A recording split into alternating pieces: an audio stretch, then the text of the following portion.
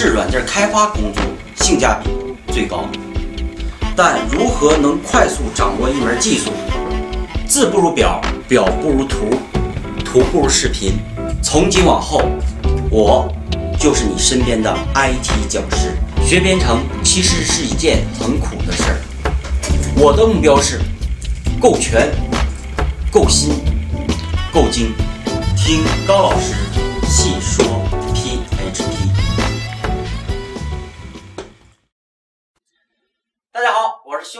联的讲师高洛峰。大家好，我是妹子。啊，妹子，问你一下，你在写程序的时候遇没遇到错误？遇到过，遇到过错误，对嗯。咱们在写程序的时候都遇到过错误，所以呢，有的人说程序是通过这个错误调出来的，对吧？咱们在写代码的时候，不光要记住代码要写的呃简单易懂，对不对？代码要优美，那么也要尽量避免所有的错误的发生，对吧？对。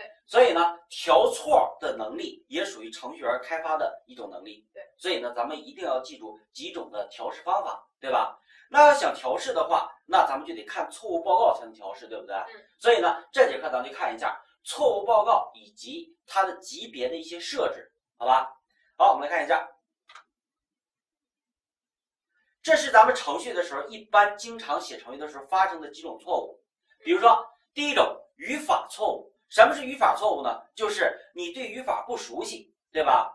语言规定你该这么做，结果你没这么做，没按它的语言规定来。犯的错误，对吧？对，这样的错误是必须得调的，因为呢，你不按语法规则去写，程序是运行通不过的，对吧？比如说你忘记写分号了，程序能过吗？不能，不能过，对吧？这就是语法级别的错误。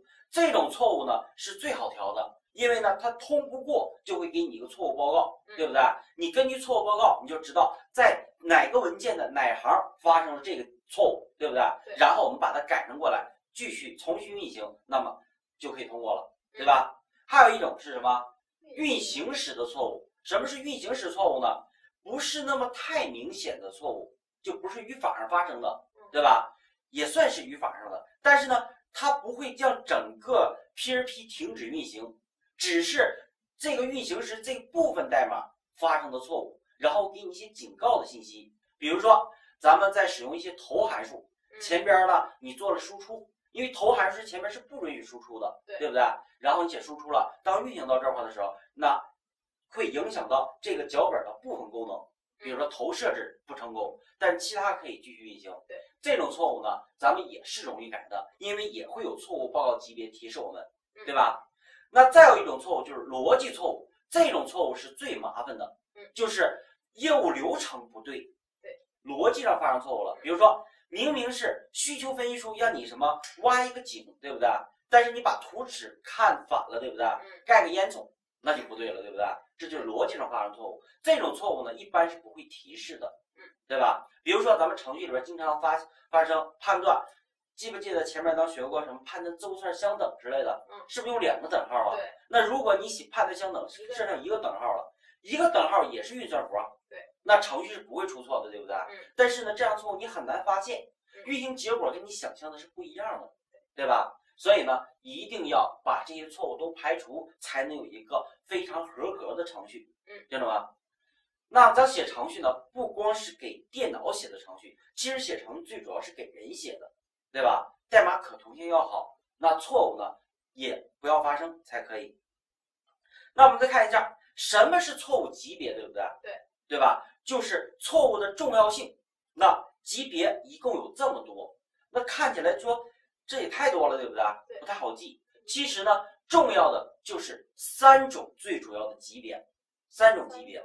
对，这里边可以分成三大类。嗯，这个我就不一一个读了，大家可以看一下，手册里边也都有，对吧？比如说像这个是什么错误啊？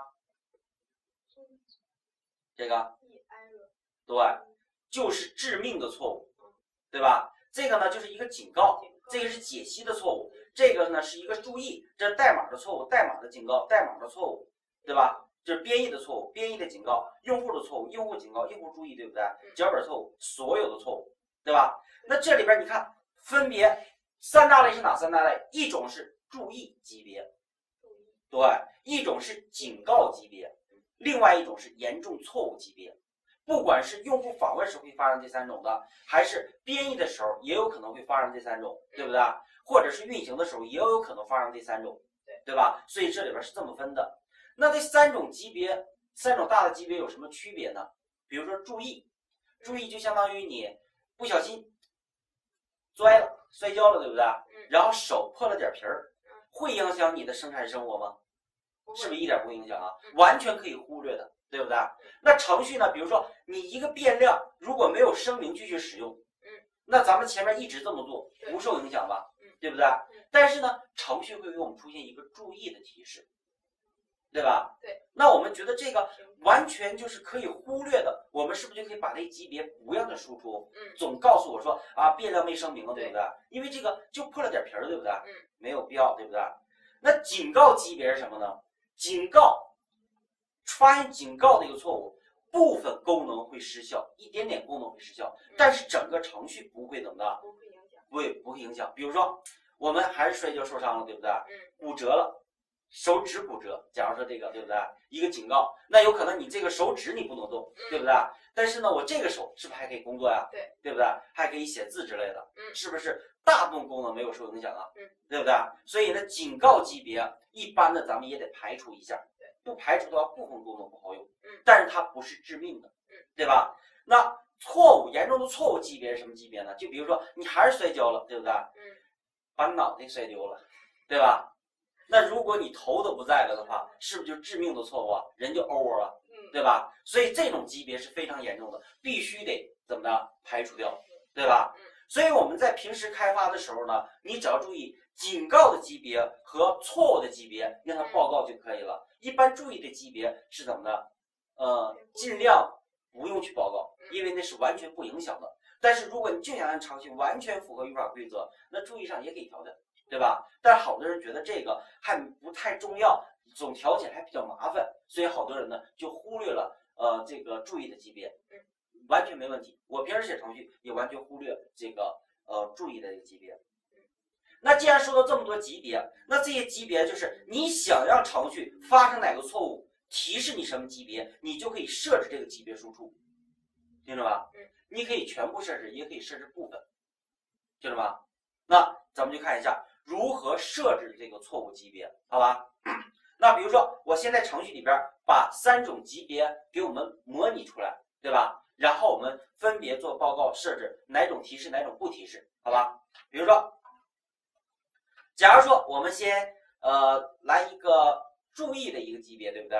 比如说，呃，我随便写的一个函数，比如 get typ 一个类型得到类型，传一个参数 a，我想看参数 a 什么类型的，嗯，对吧？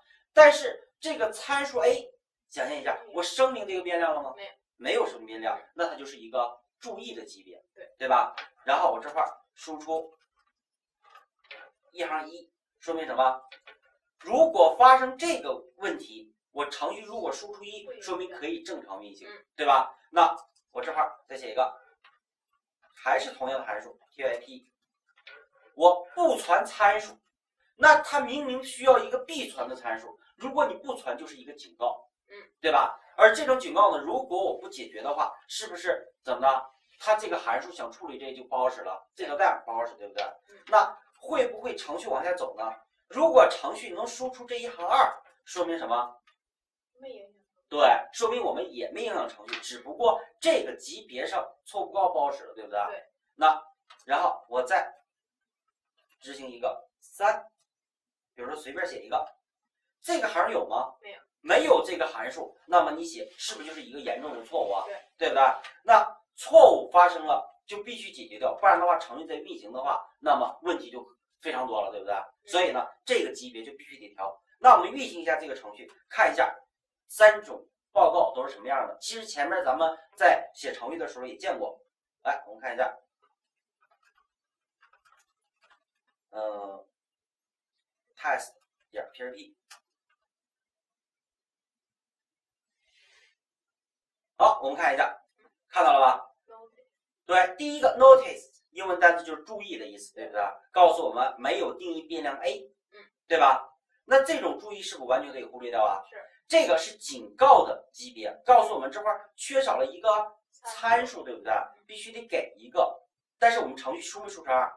输出了，是可以运行的。那第三种是不是严重的错误啊？对不对？调了一个不存在的方法，是不是这个报告这三个都是报告，错误报告都提示给我了，对不对？但是呢，第三个报告发生的时候，下边输出那行三输出了吗？没有，那就是致命的错误。对，下边遇到这种致命的错误，代码就不往下走了，嗯，对吧？所以呢，这就是错误级别。那现在，咱说了，大致上是分这三大类，对不对？对。其他像编译的错误或者什么错误，那些呢，咱们平时怎么的很难遇到，对不对？所以呢，就以这三种为主。那这三种级别，我想怎么的？比如说，我注意，如果我不想使用，我怎么去改呢？对吧？咱们以前用过。对，你看一下，我们怎么弄？这块儿，第一种办法可以在配置文件里修改。怎么在配置文件修改？就是，哦，不是这个地方，找到我们的 P R P 的配置文件 P R P 点 i，看到这个了吗？然后我们在这里边。搜索一下 E R O R 错误，来，下边这些都是什么？都是跟显示呃 display 显示错误这块说明有关的，对不对？看，这是错误的一些，对，还有最大的注册等等等等，我搜索一下。嗯，R E P 呃错误的 R E P O R T 错误报告，好，看到收到这个，看到这个值了吗？错误报告，它提示的就是哪个级别啊？咱看到的是不是这个级别啊？对吧？对应的错误值是六幺四三，是不是所有错误、警告和注意的所有信息都提示给我们了？对不对？就提示全部的。那我们可以把这个值改掉，你可以指定上面这些任意一个级别，比如说我这块如果指定，你在改之前最好怎么的，把这个 Ctrl C 复制一下，看到了吗？然后把上面这个对注释掉，然后改一下，这样呢我们可以调回去，对不对？比如说错误报告，你可以想只提，比如说我就想处理警告，对不对？那你直接这块写上 W A R N I N G，是不是就可以了？如果我就想输出严重的错误，就是 e r o r，是不是就可以了？对不对？然后比如说我就想输出注意 n o t i c e，对不对？那我想就想输出注意，并且和警告 e 下划线 e r 那什么是 w a r n i n n g，是不是这个？再并且输出错误下划线 e r r o r，对不对？刚才咱说了，咱们要设置什么？除了注意，其他的都显示，对不对？不然的话，程序总出现注意这种错误报告，对吧？那我们可以这么写：e 下划线 a l l 是所有的错误都提示，对不对？嗯。并且用这个符号，一括这个怎么的？除了它是除了的意思，除了 e 下划线 n o t i c e，对，所有错误，并且除了注意。嗯。好，我们。在这块儿改配置文件之后，我们就需要干嘛呀？重启一下阿帕奇。嗯，阿帕奇服务，重启服务。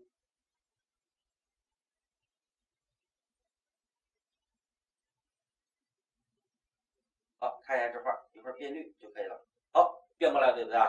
重新启动之后，我们再运行一下。咱说了，所有的注意，但是所有的错误报告级别都提示，但是除了注意。那你看一下注意的级别还有吗？没了，没有了。错注意的级别现在是不是就消失了？这就是我们在设置错误报告级别。对，所以我们在写程序的时候呢，你要先了解错误报告级别和设置错误报告级别，对吧？嗯。那这是写在配置文件里的。那如果我们在呃用的是别人的一些空间，对不对？我们自己改不了这个配置文件，那怎么办呢？怎么办呢？对。对。我们就需要在自己的脚本里去改，对不对？那我还推荐大家在自己的脚本里去干。为什么是这样呢？比如说我写的一个项目，对不对？假如说我在配置文件里边这么除了注意的不写报告不提示我们不给我们报告，那警告和错误都给我们报告，是不是这样的？那如果我项目比如说考给妹子你这边，你那边提示的是所有的报告都提示，对对吧？那我这里边忽略的注意在你那是不是全出来了？嗯，那你会觉得说高老师写的项目怎么到处都是注意啊，对不对？如果是一个新手的话，他就觉得你程序没写好，是不是会有这样的一个影响啊？嗯，对吧？所以说我们在配置文件，刚才都说了，记住哪个属性了吗？是不是这个错误报告这个可以改？嗯，对不对？比如说我把它再改回去，刚才说了这儿可以改，那这块儿哎，是不是就可以又改回来了？我们再重新启动一下阿帕奇，哎，服务 restart，我们看一下启动成功，它就变成绿的，对不对？对。好，启动成功了。那我现在这个错误报告怎么的？是不是又输出来了？对吧？所以呢，我们在 PRP 里改，但是在 PP 改的话，你需要在每个文件都改。当然，咱后期项目的话，会有包含一个全局的文件，在那里一改，所有的脚本都生效，对不对？对。那在这里边改配置文件的东西，只是当前脚本生效，听着吗？那怎么办呢？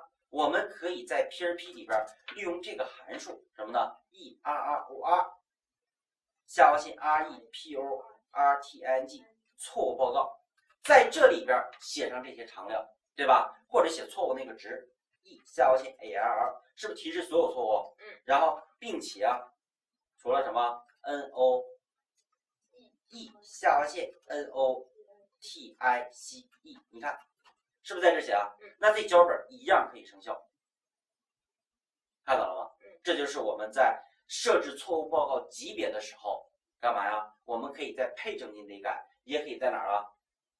也可以在程序的脚本里改，推荐在 PRP 脚本里改。这样的话，别人环境跟你不一致的时候，错误报告按这个脚本上面这一条是不是为主啊？对，对不对？嗯，好，这就是我们这节课跟大家介绍的内容。当然，设置错误级别咱们在呃课件里边也都有。大家如果想做设置的话，你可以看一下课件的一些呃操作，对吧？也课件里边也给我们提供了一些代码，好吧？好。好，我们回顾一下这节课咱讲的内容。嗯，这节课咱就说了，程序以怎么的会有错误发生，对不对？有错误发生的，咱们就得看错误报告去调试，对吧？所以错误报告也是有级别的。嗯，那你要分清楚级别，哪些重要，哪些不重要。对。然后呢，会设置这些错误报告级别就可以了。嗯，这就是我们这节课的内容。好，谢谢大家，这节课咱们就介绍到这里，再见。初学者在学习一门编程语言时，总结能力非常差。胡乱学习，对学习的内容和方法没有掌握，对行业的发展毫无了解，对自己的未来也很迷茫。为此，峰哥推出每天六十秒语音，为你答疑解惑。加入峰哥微信公众账号，让学习成为一种习惯。用微信扫描二维码，或者搜索“高漏峰兄弟连”，出来一个高大威武。有内涵的帅哥就是我了，点击关注，我就会天天骚扰你。